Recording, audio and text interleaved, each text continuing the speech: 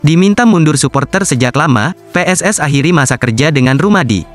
PSS Sleman secara resmi mengumumkan berakhirnya masa kerja Direktur Operasional PT Putra Sleman, Antonius Rumadi. Keputusan tersebut diambil murni berdasar pertimbangan manajerial dari jajaran petinggi PT PSS.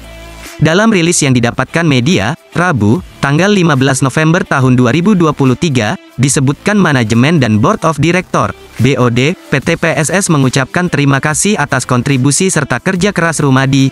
Ia dinilai memberikan kontribusi kepada Laskar Sembada selama masa bakti.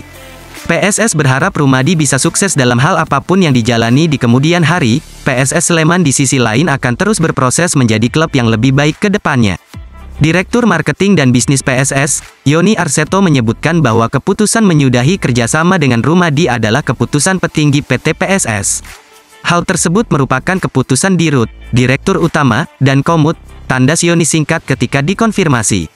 Rumadi berada di PSS sejak berkiprah di Liga 2 beberapa tahun lalu, ia sempat tak aktif di PSS namun kembali masuk saat masa transisi setelah terjadi perubahan tampuk kepemimpinan di bawah konsorsium Agus Projo. Beberapa waktu terakhir desakan untuk menyudahi kerjasama dengan Rumadi muncul dari tribun Stadion Maguwo Harjo. PSS fans menghendaki penyegaran di tubuh manajemen karena menilai prestasi yang tak kunjung membaik selama ini. Banner beberapa kali terbentang saat laga kandang PSS di paruh pertama musim ini, Rumadi sendiri diketahui sudah tak pernah berada di Maguwo Harjo saat PSS berlaga kandang.